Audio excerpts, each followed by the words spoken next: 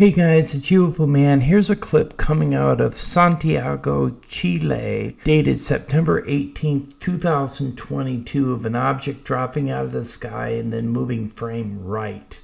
The object, when it drops down, appears to be orb shaped and then it stretches out due to its speed, or it actually is a cylinder uh, morphing from an orb shape. Take a look, make an assessment, let me know what you think. Coming up are five still shots and then a replay of the slow speed and a replay of the normal speed. Take a look, let me know what you think down in the comments. If you like this video, hit the like button and subscribe and remember to share us out to your social media platforms. And as always, thank you for watching.